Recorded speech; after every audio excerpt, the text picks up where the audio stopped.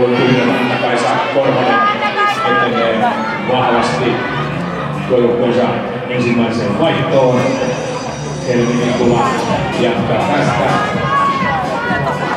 Espoon Tapioiden Retta Jämäräinen nousee tällä osuudella nostaa joukkueensa ykköseksi. Emmi Wikström, Ville Sirpo Varjelma joukkueen vaihtoon Espoon Tapioiden nimittäin komennossa Aino Hakkila matkaa näin.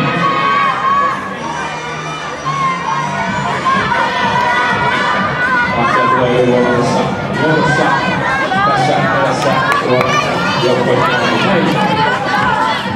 Oulun eli nousijainen maalissa näin. Se oli Pello Kaharoa ja Jesse Kovalia.